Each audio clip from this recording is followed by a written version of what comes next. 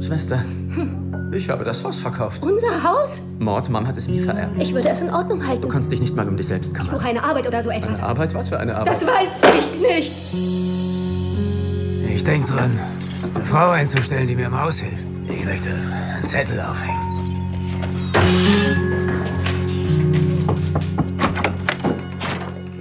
Ich bin Mord. Müsste wirklich schön sein, wenn irgendjemand für sie da wäre. Ich erkläre dir mal, wie das hier zugeht. Erst komme ich, dann die Hunde, dann meine Hühner, dann du. Wollen Sie mich hier haben oder nicht? Sonst verschwinde ich sofort.